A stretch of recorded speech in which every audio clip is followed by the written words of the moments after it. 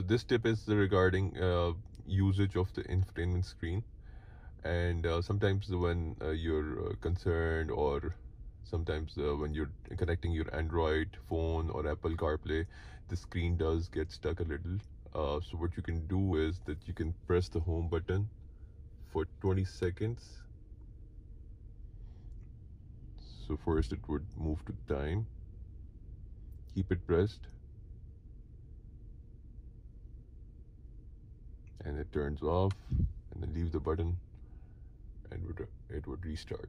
So the screen would restart and it would help uh, turn on the screen.